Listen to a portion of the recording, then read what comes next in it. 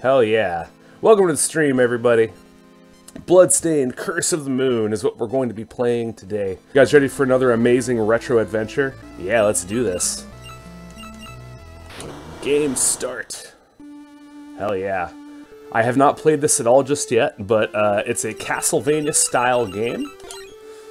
So, I'm looking forward to it. Let's see, veteran style for those looking for a retro challenge. Casual, an easygoing style, lives are unlimited, and taking damage will not knock you back. Well, I don't like to think of myself as a wussy, so let's go veteran. Back in my day, I used to be good at video games. See, there once was a man who had been given the moon's curse by demons. Ooh, spooky. That man was Zangetsu. Zangetsu! Wrapped in a crimson garb with eyes like fire, he relentlessly pursued the demons who cursed him. As he journeyed from one pit of darkness to another, he would stop at nothing until he struck down every last demon in his path. Sounds like fun. What's up, Silverheart? How you doing? One night, he sensed the looming presence of a great demon. Ooh. I like the music. He swore to eradicate all demons, no matter how much of a threat they posed. Got a real weak spot for, like, retro stuff, man. Bathed in the moonlight, he cried out as he drew his sword, which consumed the darkness from within its wretched steel. Ooh. On that night, either neither demons nor the moon itself would feel the wrath of his blade. Or, or just either demons or the moon itself would feel the wrath of his blade. Ooh. Ooh, little spooky. Good. Setting a good tone. As the mist clears. So what, am I like... Am I after the moon? Is that is that my my shit right now?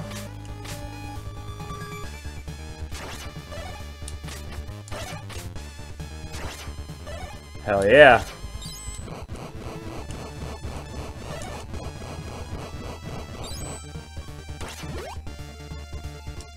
Cool. It's a good start. It's a good start. I'm liking the screen transitions. Very Castlevania-esque. They're just like the zombies that pop up. Ooh, almost took damage there. Yeah, you ain't getting me. I don't think so. Oh, shit. Okay. Alright.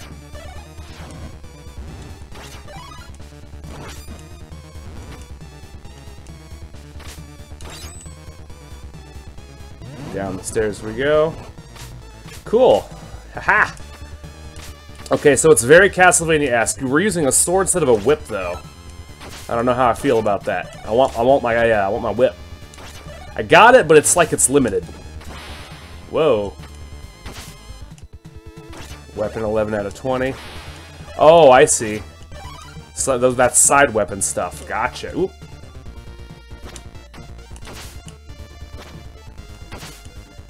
Looks like I have a talisman as a side weapon now instead of the whip. Okay. Slowly gonna get the hang of the mechanics here. Alright, so up or to the right? Branching paths! I like it. Let's see what's upstairs. Ooh, nice. Health up. What do we have here? It seems I can use sub-weapons with the, with the Y button. However, that would require weapon points. If I destroy lamps, perhaps I can find a magic potion to restore my weapon's points. I also understand that different colored lamps contain various sub-weapons I can use. Even so, I remain devoted to the sword. Okay. Whoa. Ouch.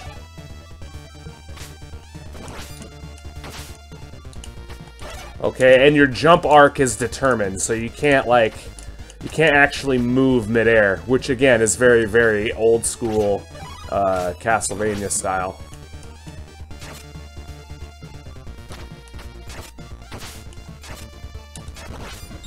Got him.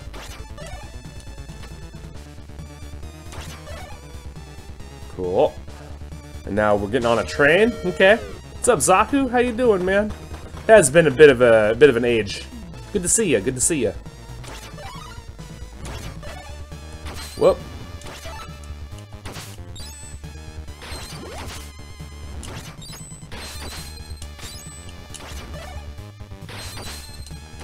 Whoa. Well, he got me once. I could have used the whip to get him. Not familiar with his attack pattern. Let's see here. Just go straight up. Oh. There we go.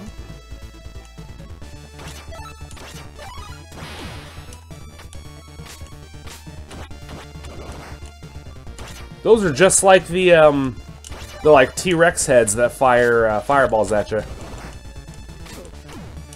Ooh. Down to half health. Got him. Aha! And then jump down this way. Very good. Okay, full weapon points. Oh, shit.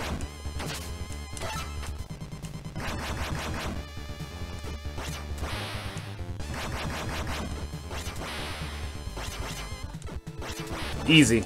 Easy. Piece of fucking cake. yeah! This game is epic already, and we've just started. Can't, uh, talk to him or nothing. Wait, is there anything over this way? Can't go that way. Okay. Start watching Gurren take age to find shiny Vulpix. Oh, well, damn. Poor Gur. Yay, full health! Hell yeah! Bring it on! Do I want the whip? No. No, I prefer I prefer what I've Oh shit. Maybe I should have taken the whip. Maybe I should have taken the whip. I probably should have taken the whip. Not taking the whip was a bad decision.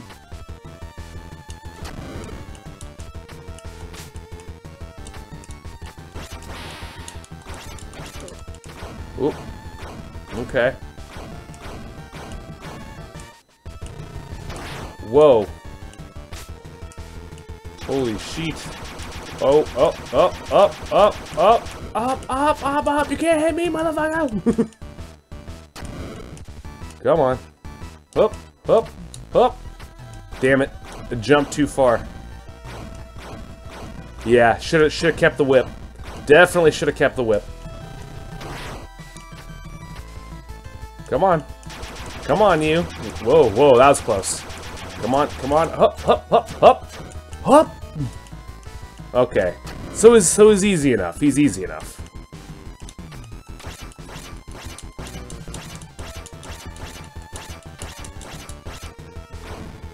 Okay, there we go.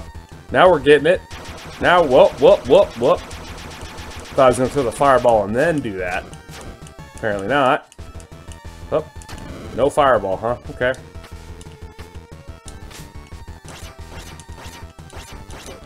Ah, shit. It's okay. It's okay. Take it easy. One step at a time. Whoa. Got fireballs. Do. This guy's uh, this guy's tough. This guy's tough. Whoop, whoop, whoop.